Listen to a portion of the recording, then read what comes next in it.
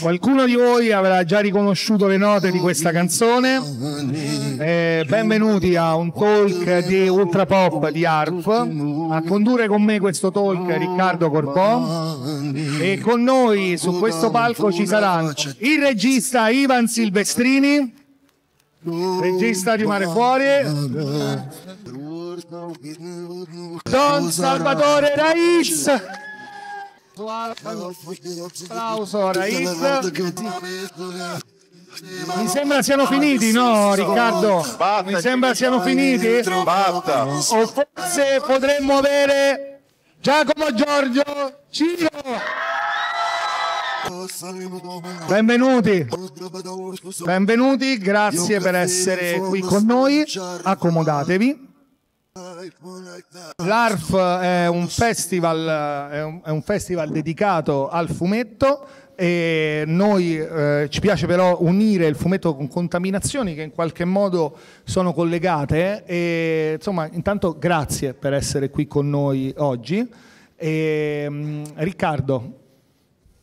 Allora, no, io apro su, un, su un, un dato che a voi forse non so quanto vi colpisce, ma è molto interessante. È, è un dato numerico del successo di questa serie su Replay, la piattaforma streaming che ha lanciato la serie. Dal 18-9-2020, che rilascia il primo episodio della prima stagione su Replay, all'1-5-2023, ha fatto un totale di 214 milioni di visualizzazioni con eh, un numero incredibile, sono 89 milioni di tempo speso in ore, cioè è stata vista per 89 milioni di ore la serie, diciamo, praticamente. E ha strabilito veramente qualunque altro, ha rotto qualunque record, diciamo, della RAI eh, su- sulle piattaforme. Eh, la- I primi sei episodi hanno fatto 8 milioni e rotti di streaming in 24 ore, cioè dei numeri eh, pazzeschi. Poi ho altri numeri, ma insomma poi diciamo, interessano tanto quanto ma per far capire il fenomeno. Io partirei proprio subito su questa domanda, perché me- mi è venuta a me questa, questa idea, questa... di fatto voi state, soprattutto su Replay, che è una nuova piattaforma, state facendo la storia della RAI, cioè siete la prima serie streaming che ha spaccato tutto su Replay. Ormai siete nella storia della RAI. Eh, oltre il successo della serie, ma questo fatto che avete aperto le porte con Replay a un pubblico nuovo, giovanile, tutto il resto vi ha fissato per sempre nella storia della RAI, che comunque è il più grande produttore di contenuti di intrattenimento, spettacolo, del, insomma, italiano. Che, che effetto ci avete mai ragionato su questa cosa? Che effetto vi fa? No, no, di qualcosa tu. Io, che dire, io sono il più anziano sicuramente, allora quindi mi ha consegnato il, il microfono. È, è impressionante, sì, è impressionante, effettivamente è una cosa che... boh, Cioè quando fra 50 anni cioè, uno studierà la storia della RAI, Mare la, Fuori, prima, vostri- la prima serie che ha fatto tutto questo questo successo, successo siete- è stata Mare Fuori, io potrò dire, ah, io c'ero. Esatto. E che dire? No, no, so, so che...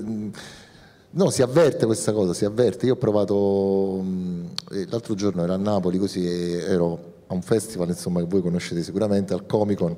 certo salutiamo i nostri fratelli del Comico Comic-Con. E eh, andando via di là ehm, abbiamo avuto un po' di problemi con i pick up di auto, così ho detto ma guardate sapete che c'è, io sono nato e cresciuto a Napoli, io adesso prendo la metropolitana. Lui c'era, abbiamo fatto un quarto d'ora di selfie e poi sono arrivato alla stazione, però vabbè, così. E questo dà un po' l'idea di, di quello che è io. Immagino lui, non, non so se esce di casa più. Ciao a tutti, buonasera. eh sì, c'è tantissima gente, insomma, è difficile anche fare la spesa. Eh, tra un po' è pubblico quello che, quello che mangiamo, no? dice signora un etto di tacchino, ha chiesto un etto di tacchino. Vabbè, esatto. prendi nota. No, eh, quello che dicevi tu è vero, non so se abbiamo fatto la storia, forse È, è un, un dato di po' fatto, nel senso, a parte il successo qualitativo, il tempo ci dirà. il record, e beh no, però questo record assoluto, cioè l'apertura di Replay al grande pubblico, questo è un dato, è come la prima trasmissione alla radio, cioè questo è, stata- è un dato storico, non può arrivarne una prima dopo, diciamo, questa è la prima in assoluto. Basta, mi spiace, ma sei nella storia dei- Sono altre le cose su cui essere negazionisti. Esatto. Abbiamo fatto la storia, prendiamocela. Va bene, allora diciamo quindi grazie a tutti voi insomma, per aver speso 89 milioni di ore di tempo, no? che insomma in qualche modo il tempo è la cosa più preziosa. Allora, secondo me 80 milioni l'ha fatte mia figlia con le amiche, e de- de- se probabilmente, però comunque il complessivo sono 89 milioni, insomma, che, che non è veramente una cifra pazzesca. Poi noi siamo abituati a volte dei contenuti streaming, vai a vedere un minuto, due minuti, cioè ci sono produzioni di ore e ore e vai a vedere il monte complessivo, hanno visto un, decimo di, di, tutto perché la gente è abituata a iniziare a vedere, poi sullo, sullo streaming se ne va. Invece qui viene vista e rivista. E... Ivan, tu ti vorrei chiedere adesso, te lo aspettavi, però la verità è che io un po' già lo so, nel senso che con Ivan ci conosciamo tanti anni e Ivan ha lavorato a tanti progetti diversi. Quando ho preso in mano Mare Fuori, lui mi disse una cosa, un giorno al telefono, fa, sto iniziando questa serie, gli ho detto, e io gli ho fatto, com'è? E lui mi fa, frate, mi sa che se la vedranno tutti. Tu dicesti questa cosa al telefono, quindi forse un pochino mentre voi lavoravate avevate la sensazione che stavate facendo qualcosa che sarebbe stato apprezzato da così tanta gente? Ma io, io devo dire sì, nel senso, pens- il fatto è questo, io ho preso in mano questa serie a metà della sua seconda stagione e ho fatto poi tutta la terza e mi accingo a fare la quarta, ma mentre, mentre io giravo già la seconda stagione percepivo che c'era un grande interesse, mentre giravo la terza stagione le piazze erano già invase, noi, la marina dove giriamo era circondata tutti i giorni da decine, a volte centinaia di ragazzi che, che volevano incontrare i loro beniamini.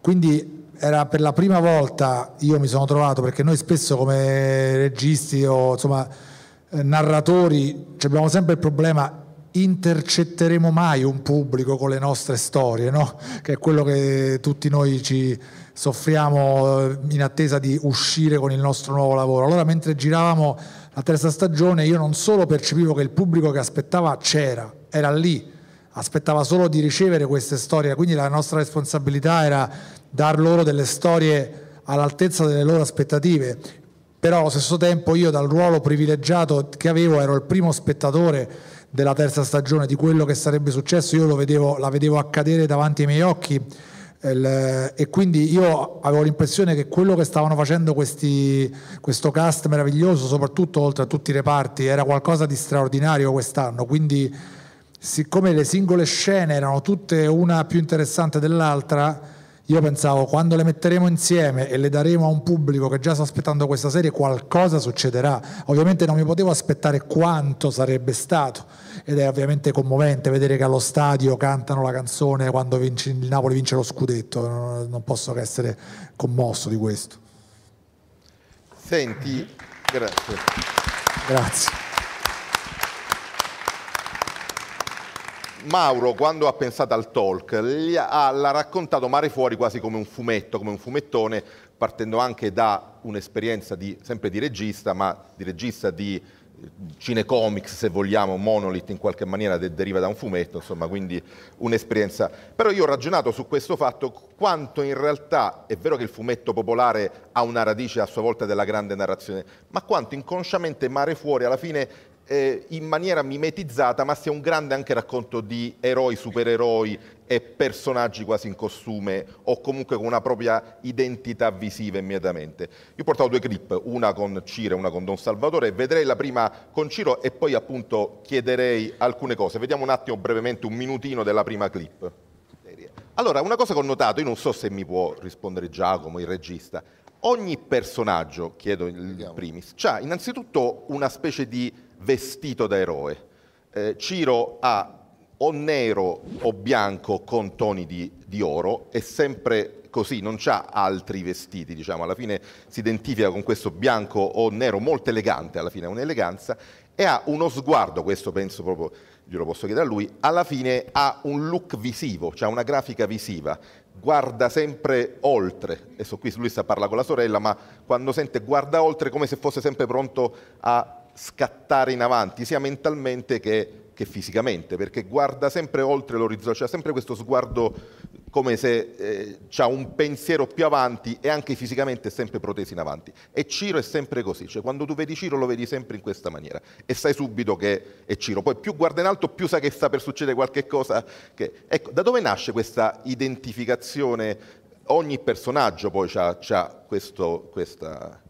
Ma ti ringrazio di aver notato queste cose che insomma sono frutto di, di un lavoro cioè, nel senso, sicuramente, eh, soprattutto io credo il reparto cattivi, quindi i ricci, sono molto caratterizzati, sia dai costumi di scena, sia dall'atteggiamento, dall'interpretazione. Eh, nel caso di Ciro, quello che dicevi tu, eh, ho preso una scelta all'epoca quando ho interpretato per la prima volta Ciro, cioè di non fare il classico cattivo con un atteggiamento spocchioso, altezzoso, che ti guarda un po' dall'alto verso il basso, come magari è più logico, no? se tu incontri un uh, ragazzo di strada che capeggia, il primo atteggiamento che ti viene è questo, no? E invece l'ho immaginato, appunto, come dicevi tu, molto più curvo, molto più proteso in avanti, come se fosse una pantera, no? E questa cosa dello sguardo di guardare sempre avanti l'ho rubata completamente ehm, a Nisida. Quando sono andato a Nisida, che c'era questo ragazzo che era a tutti gli effetti il, il, il Ciro della situazione, cioè era il, il capo, e la cosa che mi colpì... Scusa, in che occasione sei andata a Nisida? Siamo andati durante la prima stagione a metà riprese, okay. quindi c'era anche una cosa come per dire chissà che cacchio stiamo, stiamo sbagliando tutto oppure se la direzione è giusta. E invece la direzione era giusta e tra tutte le cose che mi avevano colpito di questo ragazzo, tipo che, che ne so, era nella cella, c'era la partita del Napoli e c'era una sedia vuota davanti alla televisione che era la sua, tutti seduti, capito? Pure il Napoli fa gol, boato da stadio, lui fermo, zitto così. Cioè, tanti atteggiamenti mi avevano colpito, però il principale è che lui non guardava mai negli occhi eh, il suo interlocutore. Cioè lui era tipo fermo così e guardava avanti, poi arrivava qualcuno a dirgli qualcosa e lui continuava a guardare avanti. Cioè abbassava lo sguardo, nel frattempo gli rispondeva e continuava a parlare avanti, non faceva mai questo a meno che non era per un motivo, che ne so, intimidatorio o di minaccia. Quindi spostava lo sguardo solo nel momento in cui succedeva qualcosa. Quindi tutte queste cose mischiate anche a un po' di...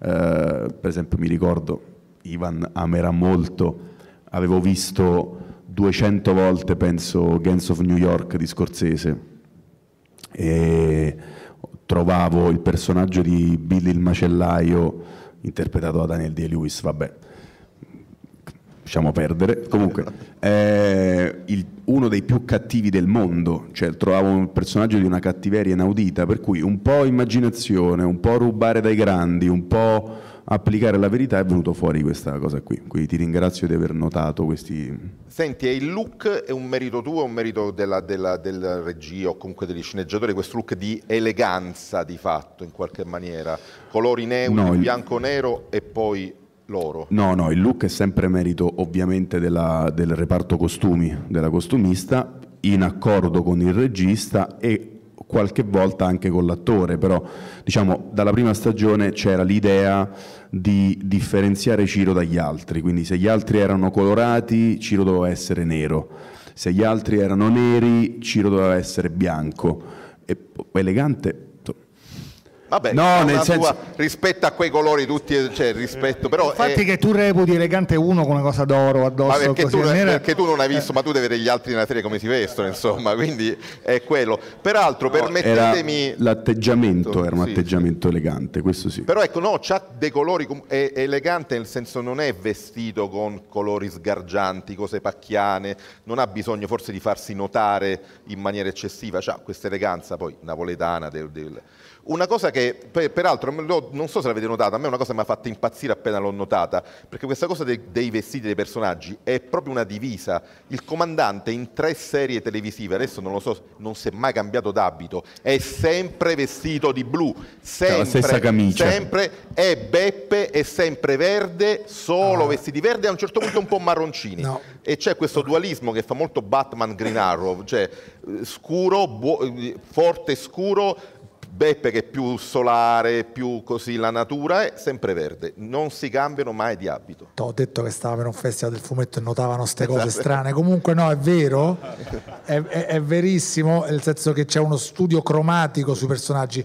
Non direi che il comandante non si cambia mai perché Vabbè, no, però, però è per vero, scherzo, però diciamo è vero, è vero ha che solo abiti blu. si cambia, cambia molto poco la palette dei suoi colori ed è sempre, è stato notato da qualcuno eh, anche prima che lui e la, e la direttrice avevano sempre dei vestiti su delle tonalità marine perché in fondo forse questo mh, insomma, mi precedeva, però il- immagino che fosse un ragionamento dovuto al valore simbolico che ha il mare in questa serie, mentre i personaggi di altro tipo han- usano tinte più aggressive o come lui più invece diciamo minimali, magari non certo minimali per quanto minimale può essere il look, eh, la moda napoletana, però, il, ehm, però è così, Beppe usa una, una palette tra il marrone e il verde, il, Lino usa una palette di scala di grigi eh, simile a Beppe per certi versi ma su scala di grigi quindi ci sono stati dei giorni che arrivava eh, Lino vestito di verde io lo guardavo e subito dicevo eh, no, cioè, eh, dov'è? no via ai costumi tornare e si doveva cambiare perché poi l'hanno capito non è più successo però mi ricordo esattamente questo momento in cui qualcuno usciva dalla palette e questo sicuramente rende i personaggi più iconografici e più immediatamente riconoscibili. In questo, secondo me, il, il mio passato, sia passato con Mauro quando lavoravamo eh, alle Wings eh, o poi dopo quando ho passato il tempo con Lorenzo Ceccotti, che mi ha insegnato molto su, sui i colori, il- la purezza di certi ragionamenti, come bisogna essere attenti, hanno- me li sono portati dentro anche nel supervisionare lo straordinario lavoro del reparto costumi. Ecco. Infatti, Ivan, quando ne parlavamo per costruire questo talk, eh, si parlava di fumetti. Noi abbiamo, da sempre noi parliamo del fatto che Dylan Dog si veste sempre nello stesso modo, no? è una caratteristica tipica dei, dei fumetti. E, e tu lì mi dicesti un giorno, dice, ma sai che io, eh, siccome Ivan è un lettore di fumetti, ha lavorato nei cartoni animati, ha, ha diretto il primo cinecomics della Bonelli che era Monolith, lui disse, ma infatti io quando lavoro a Mare Fuori, io gli do appunto l'epica delle grandi storie a fumetti, eh, perché comunque i fumetti sono molto viscerali, e tu mi dicessi proprio, proprio sulla famiglia Ricci c'era questa, questa attenzione particolare. Sì, sì, beh, allora, non è un caso che la famiglia Ricci è quella che poi è diventata la più iconografica di Mare Fuori, a partire le- diciamo da- dal padre, il figlio e eh, insomma, lo Spirito Santo che è la figlia, il- che, che è la nuova icona di Mare Fuori, cioè è innegabile che da quando è arrivata Rosa Ricci, e cito sempre lei perché lei diciamo, l'ho scelta io, quindi l'ho, l'ho cresciuta io proprio. Il- Pippo Baudo esce da questo sì, corpo. esatto, esatto, e quindi il, ehm, lei è proprio, io, già, io, io mi ritrovavo spesso a usare questa parola, io, c'è una scena quando lei viene arrestata in un flashback di questa terza stagione, che arrivano la polizia e lei alza le mani, e io mi ricordo stavo al monitor e appena dissi stop quindi potevo urlare, urlai Icona! Perché cazzo era, un- era- era diventata un'icona davanti ai miei occhi, io lo sapevo, la vedevo e quindi era, era- e poi da lì fino alla scena finale che forse avete visto, ma insomma dove eh, se la vedete lei è quasi un sembra quasi un manga per come si presenta lì. Poi lei non so perché, ma lei infatti quando si parlava di scegliere lo- il- uno pseudonimo, insomma un, un- un- esatto, il primo il primo nome che hanno proposto è stato A cinese, però prima di Tarantella, però, il- il- però questa cinese avrebbe poi secondo me creato troppe domande circa la, la maternità di questa, di questa mm, Esatto. per gli occhi, per gli occhi. Comunque è abbastanza orientaleggiante. no? Io vedrei l'altro spezzone con, su, sul padre, diciamo, della famiglia, della famiglia. Un minuto e, e rotti. No? Senti, io volevo chiederti una cosa. No, no, c'ho, c'ho l'archetto. Eh, che da una parte il, grande attore chiaramente ha una grande dote recitativa, ma spesso il corpo lo, l'aiuta in qualche maniera. A me mi ha fatto impressione, ma vedo che anche qui c'è tu c'hai queste vene sulla testa, io mi sono spaventato quando c'è, tu passi, passi in macchina, stai zitto, ti si vede la testa, io da spettatore già ho paura perché c'hai queste vene sulla testa. E, ecco, anche qui questa fisicità, perché qui è il ruolo perfetto, nella vita come ti hanno, come ti hanno portato, ti ha aiutato, ti ha aiutato il ruolo attoriale, come eh, hai una fisicità fortissima, cioè prima ancora di arrivare alla recitazione già c'è il corpo che recita per te. Esatto. Ma io ho fatto, insomma, ogni tanto... Scusami per la domanda, non no, voglio no, no, no, è una domanda, no, eh, no, grazie, no, è una domanda insomma, eh, giusta, il Soma insomma, fa tanto, eh, chiaramente uno trovandosene uno, allora o lo continua a costruirlo, io ero già più o meno così, non ho fatto altro che andare avanti, ho detto posso solo peggiorare adesso, cioè, quindi lo, lo farò con, con una... Con una insomma, con, con, devozione, cioè con, con cognizione di causa. E, mh, mi sono spesso interrogato, mh, siccome io faccio il musicista, insomma, canto, ho cantato praticamente tutta la, tutta la, vita, sono stato sul palco, mi sono spesso interrogato su, su, su perché, um, cioè io faccio l'attore, faccio il musicista, chi sono io veramente, perché mi piace così tanto? E poi mi sono dato una risposta, comunque lo stesso Rais è un personaggio, cioè è una maschera che io ho costruito perché evidentemente ne ho bisogno e questo probabilmente è eh, l'insita necessitano dell'attore che forse ha sempre alber- albergato in me, cioè di, met- di, mettersi una maschera, di mettersi nei panni di qualcun altro, che è la cosa che fondamentalmente noi facciamo, cioè in, in continuazione. Beh, qua io sto nei panni, in panni molto conosciuti perché lui chiaramente, eh, come Giacomo ha spiegato, eh, da, da, dal contatto no, avuto con, con i ragazzi di Nisida, io ho conosciuto diversi, diversi Salvatori Ricci, che insomma non sempre hanno fatto una bella fine, perché? Perché in tanti anni di carriera a Napoli, dove, dove il confine tra il legale e l'illegale, eh, come ho scritto in una canzone di tanti anni fa, o buone o malamente, insomma è molto molto molto labile. Quindi tu per strada puoi, puoi conoscere tanta gente. Quindi mm, il fatto anche di essere cresciuto in una famiglia popolare, in un quartiere popolare, eh, no, ti, ti, fa vedere, ti, fa vedere, l'altro te che avresti potuto essere, insomma, e, e che non sei diventato, grazie a Dio, meno male. E, ehm, e, e, quindi sta tutto lì. Come dire, io sì, sì, sono fatto così, ho sta testa così, diciamo che non, spesso, non molto spesso mi, mi, mi, è capitato di litigare, ecco. Cioè, diciamo, okay. Senti, mi, è molto salvato. E, e, invece Don Salvatore non è un, il protagonista, non è orientato ai protagonisti perché più che altro sono i ragazzi, certo. non, non per altro.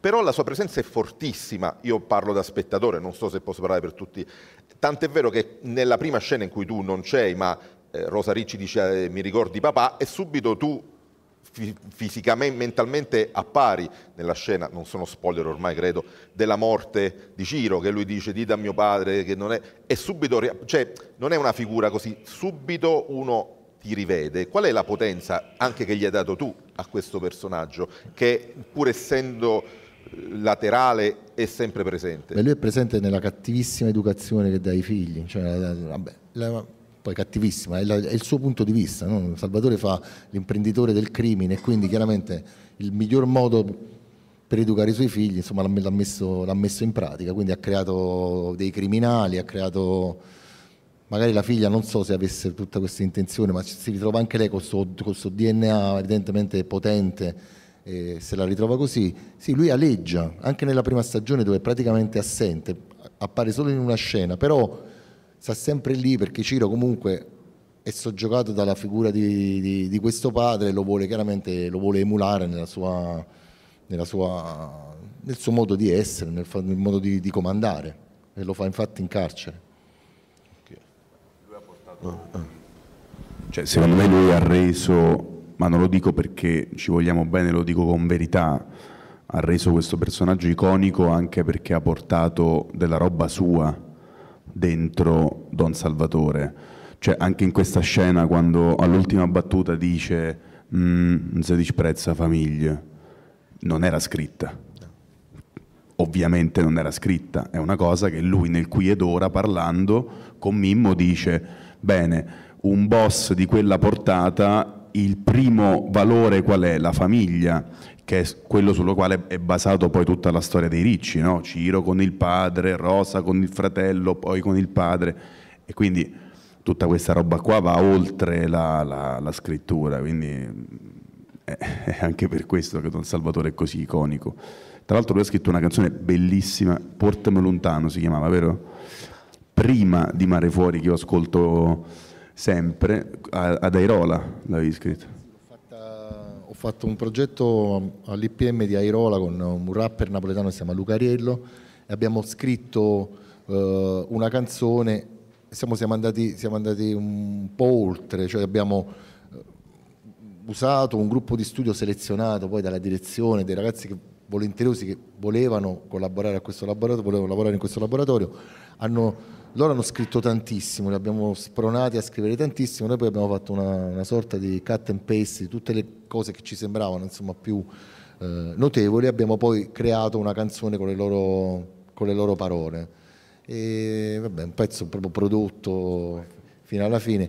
E in qualche modo siamo riusciti anche, io non lo so però come, siamo riusciti anche a fargli firmare il pezzo perché forse due o tre di loro si sono iscritti alla SIAE è possibile farlo anche da detenuti perché se uno, ah, per se, fortuna cioè se uno scrive un libro da, in carcere poi lo devi poter depositare eh, a tutti gli effetti e quindi loro sono anche i diritti maturati da questa canzone non so saranno veramente beh, pochi comunque è rimasta nell'ambito dell'underground Giacomo se lo sente perché si sente la musica, insomma, non è uno così, insomma. E quindi, e, ehm, e quindi vabbè, è stata, è stata una bellissima Senti, esperienza. Eh, eh, concludo, io ho conosciuto Lucariello l'altro ieri e devo dire che l'icona Raiz vive in lui e chiaramente lui sta cercando di diventare te. cioè, io l'ho visto da lontano, ho fatto, ah c'è... Ri-". No, non era Lucariello. ok. Senti, e le due canzoni, o comunque domani che abbiamo ascoltato un attimo, e TikTok, che di fatto si sono fuse con la serie, nascono prima, nascono dopo? Cioè, sono nascono, nascono, dopo la lettura della, della, sceneggiatura. Ok, quindi sono proprio... TikTok è proprio il momento in cui è, è Ciro che parla, cioè tutto, è, lui, è, lui, che parla in prima persona, parla della, della, della del rapporto che ha pure col padre nella seconda strofa, nella prima strofa è, è, è quello che il padre eh, lo manda a fare, cioè, manda a, cioè, gli fa uccidere un suo coetaneo, tra l'altro uno col quale lui ha un rapporto, è un suo amico, quindi lui deve imparare a comandare subito, quello, questo ha tradito, ha sbagliato, tu, non importa il rapporto che tu hai con lui, lo devi, comunque lo devi eliminare. E la strofa insomma che là dove ho cercato di medesimarmi insomma, in, questa, in questa cosa è quando mi sono immaginato Ciro che torna a casa e la prima cosa che fa si fa una doccia perché questo però l'ho sentito, è una cosa che ho sentito dire da persone che avevano commesso reati di sangue, che eh, la prima cosa che facevano a casa, okay, quando arrivavano a casa si facevano questa doccia perché probabilmente il loro essere umano proprio no? cercava di ripulirsi da, da questo, dall'orrore che avevano combinato però non ci riuscivano. E quindi dice, la, la, la, frase dice nemmeno il profumo di queste lenzuola che si mette in un letto pulito cancella il fumo della pistola, cioè rimane nel, nel naso questo odore che è già andato via dai sensi, ma rimane nella memoria no, della, dei sensi del cervello che non riesce a cancellare questa cosa. Però Ciro chiaramente lo ritiene uno step necessario, no? assaggiare il sangue per poi capire che alla fine diventa una cosa da fare, che, che, può fare, che può fare e segna il segno del, del comando. Insomma.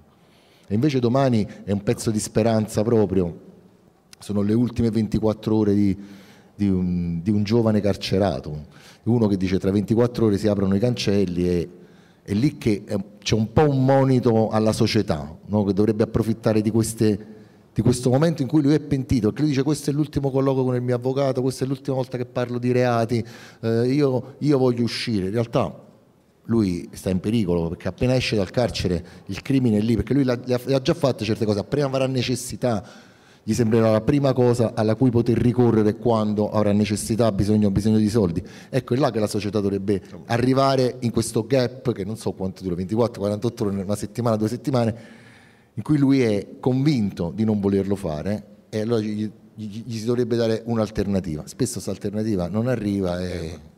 Plof.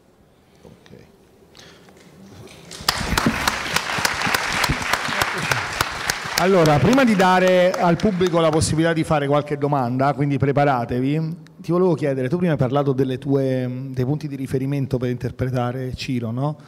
Però io ci vedo anche un po', non, è uscito come argomento, però tu sei anche figlio di tuo padre in quella, in quella storia, quindi hai ripreso qualcosa della, anche della sua attitudine per portarla in scena oppure hai guardato altrove? Ma diciamo che tutto il personaggio di Ciro è su di lui, che è una cosa che era nata, diciamo, facendolo.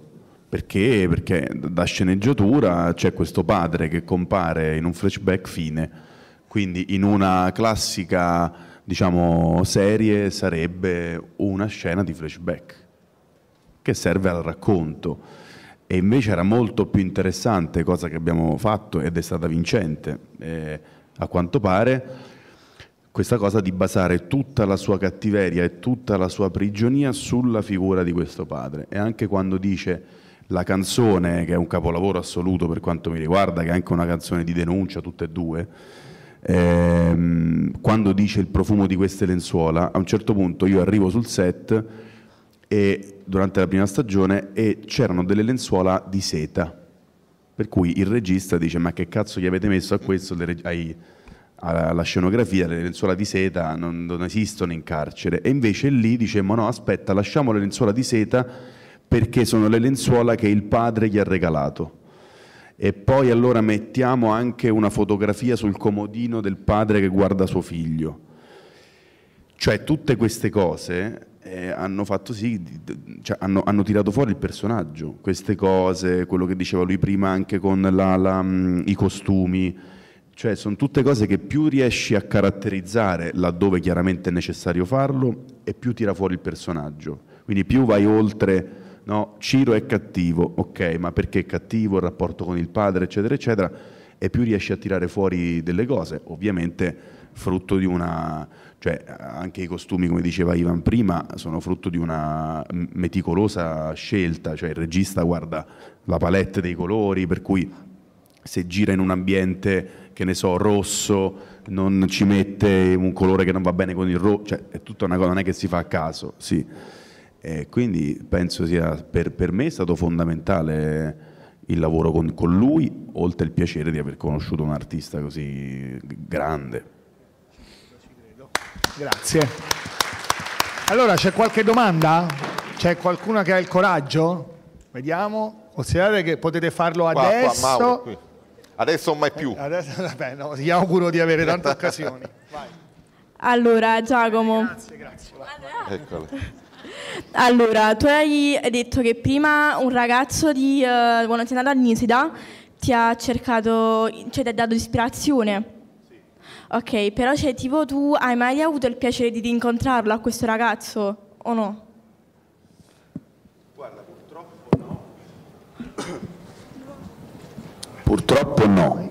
Questo ragazzo non l'ho mai più incontrato perché ovviamente è un detenuto del penitenziario minorile. Non ci sono mai riuscito più a tornare, eh, però sicuramente ho portato con me, mentre facevo la serie, la memoria di quella giornata. E quindi come loro tu cioè, potrei raccontarvi tante cose di quella giornata, ci sono stati tantissimi ragazzi, c'è stato un ragazzo Infatti Ivan è stato magistrale in quella scena della seconda stagione con Antonio Refice, no? quando Totò si attacca alle sbarre e impazzisce. Allora vi giuro su Dio che io appena sono entrato a Nisida, la prima cosa che ho visto era un ragazzo quasi anoressico, quindi in uno stato fisico anche problematico, attaccato alle, alle sbarre della cella di isolamento che è sulla sinistra, che urlava e cantava. Cioè, quindi ci sono tante cose di quella giornata. Quello che spero è di essere riuscito attraverso la serie ad ispirare qualcuno, ecco, come gesto di, di, di scambio.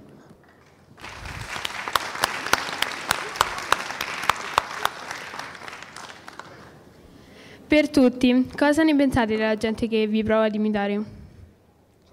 Ah, della gente che ci va a imitare. Ma cioè, in che senso? Cioè imitare... A emulare il vos- i vostri personaggi, a imitare nella vita, credo, non gli Ah. attori. Questa è una, una vecchia querella, no? Il fatto, cioè, il- le serie come Mare Fuori sono diseducative, sono educative, cioè sono... Beh, allora io ti, ti rispondo sempre così, se, se una serie potesse essere educativa o diseducativa, allora, visto il seguito che ha avuto Don Matteo, per esempio, in Italia, cioè, ci sarebbe dovuto essere tipo un innalzamento del numero dei sacerdoti. E, cioè, non credo... Non, cre- non credo che possiamo influenzare, anche perché, allora, voglio...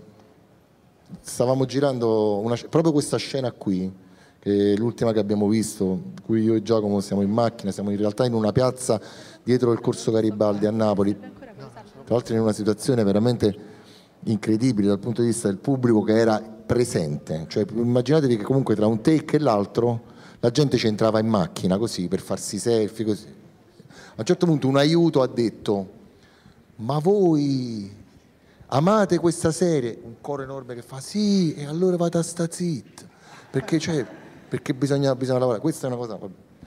Ehm, però ho detto, ho detto questo perché durante la mia permanenza sul set, quindi tra, tra una scena e l'altra, io abiti di scena, ero Salvatore con le sue catene, col suo modo, no, così, e c'erano dei ragazzi in piazza che erano i veri Salvatore.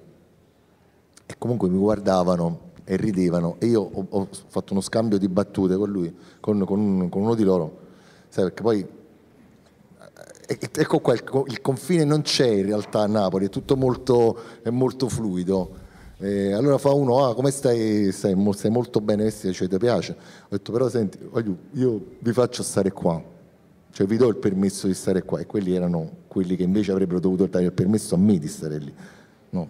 Detto, io vi, faccio- vi do il permesso di stare qua, però vado a stare zitta. Quindi là c'è, c'è stato, un, c'è stato uno, uno scherzo. Chiaramente tu dal punto di vista no, della... eh, quando sei, tra virgolette, star, ti puoi permettere di, di scherzare quasi su tutto con la gente di strada, perché comunque loro lo accettano, perché tu sei comunque un, personaggio pubblico, quindi va bene così.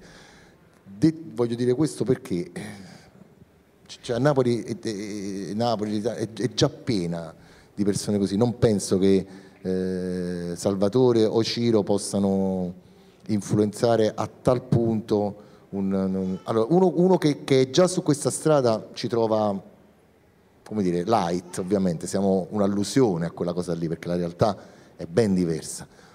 Uno che insomma vuole fare il criminale ma com- com- cioè, Sì, guarda, io lo posso dire da giornalista, non è certo, cioè, la criminalità in, in alcuni ambienti è dovuta più alla mancanza dello Stato che a- non, riesce a rispondere a alcune richieste. Non è certo mare fuori, anche perché non, è- non parte da qua, non è che è un fenomeno che è del 2020 o qualcosa del genere. Certo ci sono alcuni atteggiamenti, ma quelli forse sono più educativi del, del complesso, secondo me. Mi permetto di rispondere no, perché Ah, sì, chiaramente sì, sì. non è un fenomeno, tant'è vero che Mare Fuori si ispira a fatti precedentemente, insomma.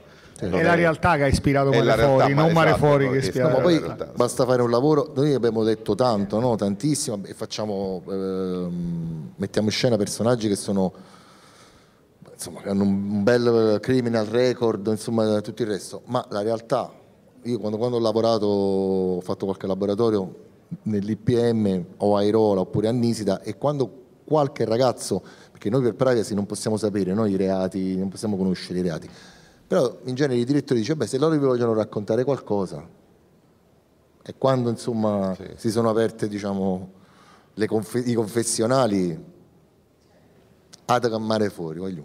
Cioè, quindi insomma, la realtà è ben diversa. Allora, eh, qual è stata la scena più difficile da fare e perché? Cioè, La scena più difficile da fare è stata la scena della morte di Ciro perché non sono mai morto e quindi non sapevo come si moriva. Questo. Scusate, io devo dire una cosa, poi ve- velocissimo, però un ragionamento, io ho rivisto un po' la serie anche per... Ma eh, vi lancio questa cosa perché non so se il regista stesso... In realtà la morte di Ciro, secondo me, l'ha provocata il comandante.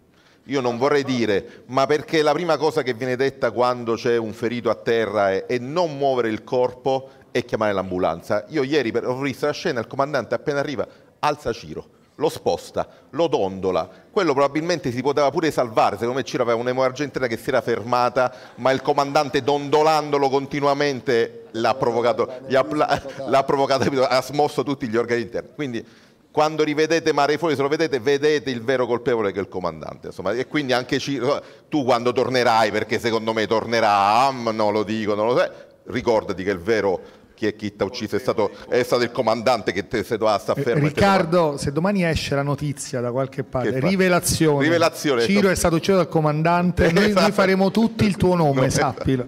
Ma beh, cioè, sono i basta, basta guardare, basta guardare la scena, insomma. Che... No, invece no, volevo dire, invece la scena per me è più difficile, cioè, difficile era eh, quando, quando eh, Vanda Di Salvo chiede la testa di Edoardo Conte perché eh, cioè, ti sta chiedendo al padre di vendere il figlio, sebbene è un figlio adottivo, è un figlio, è come un figlio e questa cosa... Cioè, Salvatore non è che se la, la, la digerisce tipo, tipo, così, dice vabbè sì, faccio quello che va, va, fatto, comunque c'è tutto un rapporto, lui decide alla fine di fare quello che, che gli sembra meglio, però però comunque c'era tutto da mettere da, da, da fare in, in, un secondo dalla sua faccia doveva uscire questa cosa no, doveva perdere la, anche un po' la maschera no, di, di, estrema sicurezza che lui più o meno ha sempre e, e, e, mostrare un interno che è molto molto profondo e pieno di chissà quanto schifo, insomma, però insomma, era, era difficile. Ma l'hai dovuta rifare o ti è venuta comunque? Non lo so, chiediamo... Io ricordo esattamente il momento di questa cosa perché io avevo detto all'operatore, dopo che lei gli chiede questa cosa, tu stringi su di lui che sicuro gli si gonfiano le vene e infatti, e infatti in quel momento c'è lui che proprio lo vedi pulsare e questo momento è, è estremamente ben descritto proprio è lì il, davanti ai nostri occhi di cui parla. No, la, credo l'abbiamo fatto due ciak per quella cosa massimo tre per problemi tecnici ma insomma è stato, eh, andava bene pure la prima insomma. Vabbè, come spesso mi è capitato di dire, la scena più difficile forse di tutta la mia vita è stata il finale del sesto episodio dove succede un casino, voi sapete perché, sul terrazzo e non solo. Diciamo, lì eh, c'era una serie di difficoltà impressionanti e in più una corsa contro il tempo, corsa contro il tempo per mille motivi. Intanto perché quando tu hai un bambino molto piccolo non puoi tenerlo per 10 ore sul set, cioè hanno un limite di tipo 3 ore e in più lì eravamo ad, ad agosto sotto il sole. Il, in più il sole non lo puoi tenere fermo, il sole fa un arco durante il giorno e tu per metterci a una scena ci metti tanto tempo, quindi devi anche...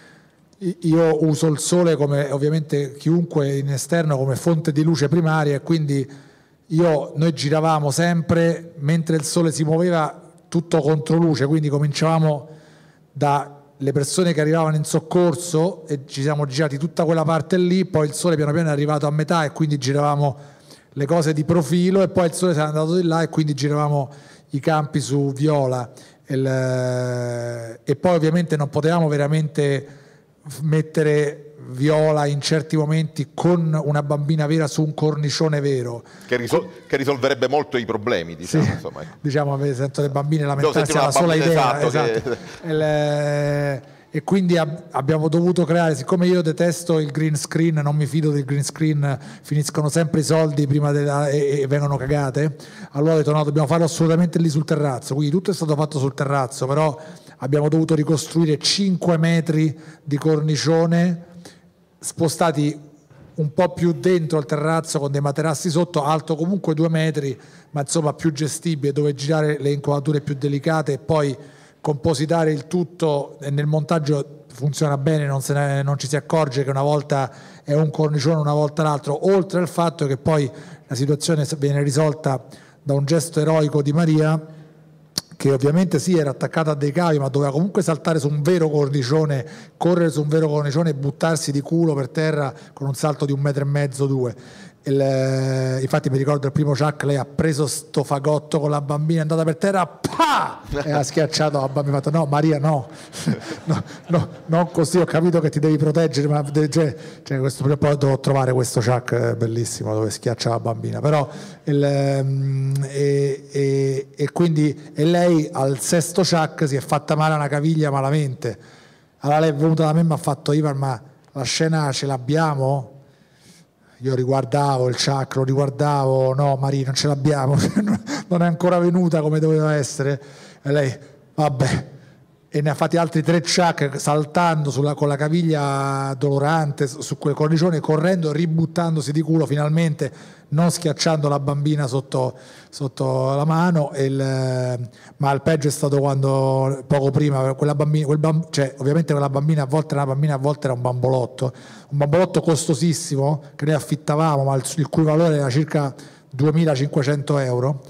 Il, e c'è stato un momento che se ricordate in cui Viola sale sulla sui, su, insomma, su, sui tralicci per salire sul tetto, sale, sale, sale con sto bambolotto in mano, arriva in cima e poi le cade sto bambolotto da, da, dal, te, cioè, dal, quinto piano e fa pom, pom, pom. E, e l'operatore sadicamente ha, ha, seguito il bambolotto, quindi io stavo al monitor e vedevo proprio pom, pom e pensavo ok, 500 euro, 1000 euro, ogni botta pensavo... Eh, e alla fine vabbè, è andata così. Infatti, Una, non... Un applauso enorme a, a veramente a, a, ma eh, lavoro immenso degli attori, ma lavoro immensissimo del regista, meraviglioso. Ultima domanda, ragazzi.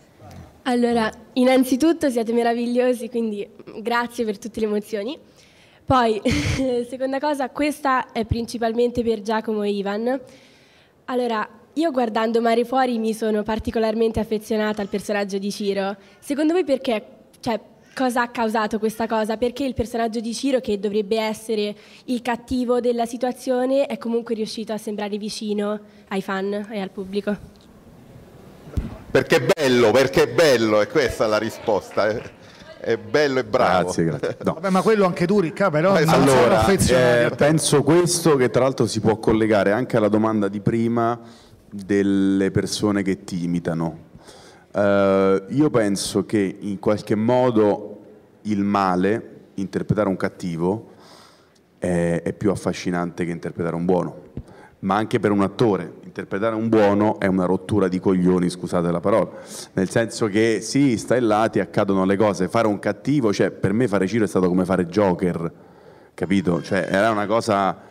Quindi questo fascino che subisce l'attore, secondo me, lo subisce anche il pubblico. Uh, quindi questa è la prima cosa. La seconda cosa penso perché un po' tutta la serie, il mio personaggio compreso, non si è occupata di raccontare il male fine a se stesso, ma anzi dice che il male fine a se stesso non esiste, esiste forse il bene, esistono degli atteggiamenti sbagliati, motivati da altre cose e c'è sempre una speranza, un mare fuori, eccetera, eccetera. E quindi pensare a Ciro non come il cattivo, ma come il più prigioniero e dunque cattivo, ma di base molto buono, tant'è che poi muore e dice non voglio morire, perché è un ragazzo in realtà, è un ragazzo indifeso, fragile, piccolo, diventa piccolo, ha bisogno di suo padre, un padre che non ha mai avuto, e in quel momento lì viene fuori la verità quindi per questo poi entri in empatia, diverso da, che ne so, interpretare uno psicopatico serial killer che tu non empatizzi, tu lo odi un serial killer. E collegandomi alla domanda di prima, quindi non credo che il, eh, il cinema, anzi assolutamente il cinema debba, es- debba essere scevro da qualunque tipo di uh, rapporto nel sociale non si può pensare al cinema come qualcosa di educativo. Il cinema è una messa in scena, se vogliamo un'opera d'arte. Detto ciò, allora se no, scusate, il padrino non si doveva fare, Scarface non si doveva fare, Cioè, eh, che vuol dire? Sono tutti grandi film che hanno fatto la storia del cinema, grandi cattivi. Eh, danno il buon esempio, educano, non educano, non è, non è compito nostro. Certo, l'importante è che tu, attore, non inciti l'imitazione, questo sì, ma anzi spieghi, cioè per esempio io con Ciro ci ho tenuto a dire, ecco, chi fa la vita di Ciro fa quella fine lì, cioè muore. E quello è l'esempio. Poi se uno lo emula o non lo emula non è, non è arte nostra, così come, tutti, così come, è stato per tutti i film de, della storia. Il grande cinema questo fa, quello che ci Vabbè, ricordano Coppola. Raizza, se no saremmo tutti Don Matteo, cioè ci sono dei film che hanno un successo pazzesco, ma non mi sembra che poi anche in positivo. Anche i bravi ragazzi vengono... di Scorsese non fanno sì, una bella vita, non è, è quello. No? Però voglio, voglio aggiungere un'ultima cosa perché qualche giorno fa sedevo accanto a, a Centomani che è il direttore dei, degli istituti minorili in Campania o, o addirittura forse sì e, il, e lui ha, ha, parlato di Mare Fuori definendolo detto io ho visto Mare Fuori e ho, ho trovato che Mare Fuori sia eh, importante perché è una specie di bignami del, dell'educazione emotiva, cosa che spesso ai ragazzi che finiscono eh, in posti come Nisida eh, è ciò che più è mancato, cioè spesso sono persone che non hanno dei riferimenti emotivi forti, hanno delle figure paterne se ne hanno molto discutibili il, e non sono abituati all'affetto di un certo tipo, a manifestare e invece in qualche modo Mare Fuori col fatto che i personaggi e io ci tengo a questo e lo, lo spingo sempre in questa direzione, sono personaggi che in qualche modo si trovano ad affrontare le loro emozioni, a viverle fino in fondo. Non è un caso che Mare Fuori stanno sempre, sempre spesso si piange, i personaggi piangono, eh, non hanno paura di piangere gli uni davanti agli altri, fanno i conti con le loro emozioni, che è una cosa che spesso magari certi ragazzi e ragazze non, hanno, non imparano a fare. Allora lui diceva che ringraziava Mare Fuori di, di, di essere un, appunto un bignami dell'educazione emotiva e io penso che questo, in questo senso Mare Fuori coniughi intrattenimento ma anche un, una certa forma di, eh, insomma, di, di, un aspetto so, eh, sociale importante, una, una missione che è quella che io cerco di continuare con questa serie, senza voler fare appunto l'opera pedagogica che ti fai due palle e che, non, e che rifiuteresti, la gente rifiuterebbe un'opera pedagogica se Mare Fuori volesse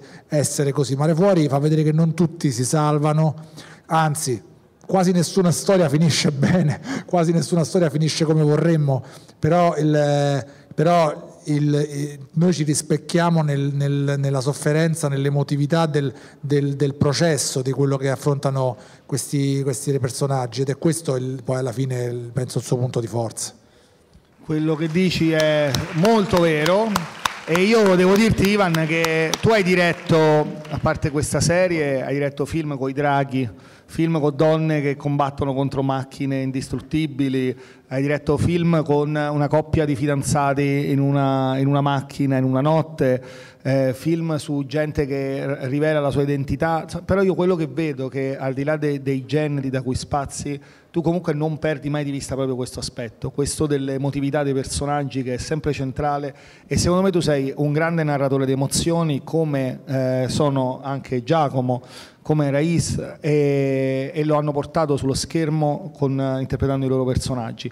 Ora, questo incontro io lo farei durare tantissimo, ma siamo già andati stra, stra fuori orario, siamo tutti impegnati.